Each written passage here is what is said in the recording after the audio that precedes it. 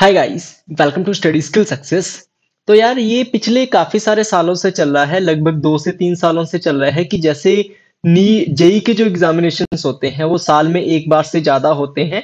और इसके चलते क्या होता है कि जेई के स्टूडेंट्स को अपॉर्चुनिटीज़ ज़्यादा मिलती हैं। साल में दो से तीन बार मौका मिल जाता है कि अगर आपका एक एग्ज़ाम खराब जाता है तो आप उस एक एग्ज़ाम की गलती को सुधार के दूसरे एग्ज़ाम्स में अपना बेहतरीन दे सकते हैं। वैसे ही नीट को लेकर भी चल रहा है कि नीट के एग्जामिनेशन जो है वो साल में एक बार से ज़्यादा होने चाहिए। अब की बार भी इसको लेकर क्वेश्चन उठाए गए हैं मिनिस्टर्स द्वारा क्वेश्चन उठाए गए हैं और इस पर हेल्थ मिनिस्ट्री द्वारा रिप्लाई भी किया गया है, एक ऑफिशियल रिप्लाई किया गया है।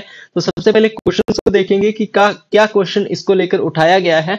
उसके बाद हेल्थ हेल्थ मिनिस्ट्री का इस पर क्या रिप्लाई आया है उसको देखेंगे और इन सब के बारे में जानने के बाद हम जानेंगे कि अब की बार या फिर साल 2024 में यानी कि अगले साल हमारा नीट का जो एग्जामिनेशन है वो साल में एक बार से ज़्यादा यानी कि साल में दो बार होगा या फिर नहीं। ठीक है? तो एक एक करके सभी पॉइंट्स को कवर करते हैं। वीडियो इंटरेस्टिंग है तो वीडियो को लास्ट तक ज़रूर देखिएगा। मेडिकल इन्फॉर्मेशन के रिगार्डिंग ऐसी ही वीडियोस आपको चैनल पर मिलती रहेगी। उसके लिए भी आप चैनल को सब्सक्राइब ज़रूर कर ज़रूर कर लीजिएगा, ठीक है? चलिए, देखते हैं। सबसे पहले हेडलाइन आप देख सकते हैं। हिंदुस्तान टाइम्स की एजुकेशन डेस्क की न्यूज़ है। Will NEET be held twice a year health ministry says this सबसे पहले जो रिस्पॉन्डिंग जो क्वेश्चन पूछा है, वो बीजेपी के हैं रमेश चंद इन्होंने पूछा था कि नीट का जो एग्ज़ाम है वो ट्वाइस हो सकता है like engineering entrance test JEE main हो गया और भी काफ़ी सारे गवर्नमेंट के एग्ज़ाम्स होते हैं। तो गवर्नमेंट इसको लेकर क्या प्लानिंग कर रही है? इसके ऊपर इसको लेकर जवाब मांगा था रमेश चंदर ने, ठीक है? तो इसको लेकर हेल्थ मिनिस्ट्री का क्या जवाब आया है? तो हेल्थ मिनिस्ट्री ने बोला है there is no plan to conduct national eligibility cum entrance test for undergraduate course twice a year union health minister inform Lok Sabha on Friday National Medical Commission NMC and National Testing Agency NTA have informed that there is no proposal to conduct NEET UG exams for providing two chances in a year.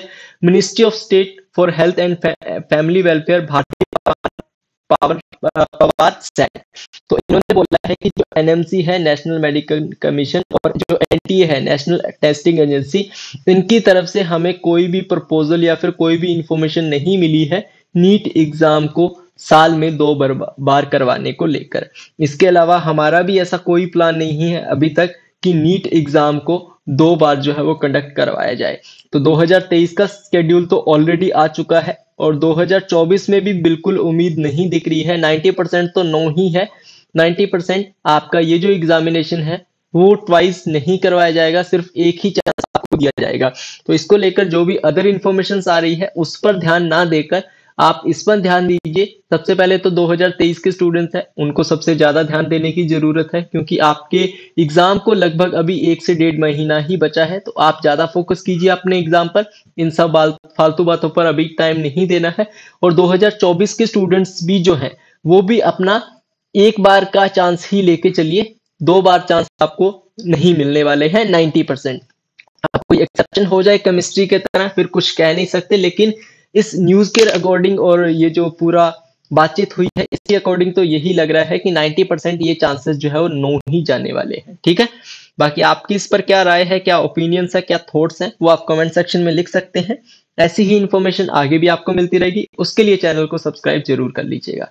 मिलते हैं next video में, तब तक के लिए good luck and have a nice day